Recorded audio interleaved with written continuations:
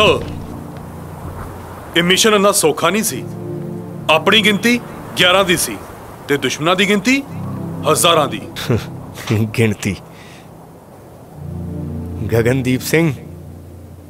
ਜੰਗ ਜਿਗਰੇ ਨਾਲ ਜਿੱਤੀ ਜਾਂਦੀ ਹੈ ਗੁਰੂ ਸਾਹਿਬ ਨੇ ਫਰਮਾਇਆ ਸਵਾ ਲੱਖ ਸੇ ਇੱਕ ਲੜਾਉਂ ਤਬ तब ਗੋਬਿੰਦ ਸਿੰਘ ਨਾਮ नाम सुरा सो पहचानिए जो लड़े दीन के हेत पुरजा पुरजा कट मर कबू न छाड़े खेत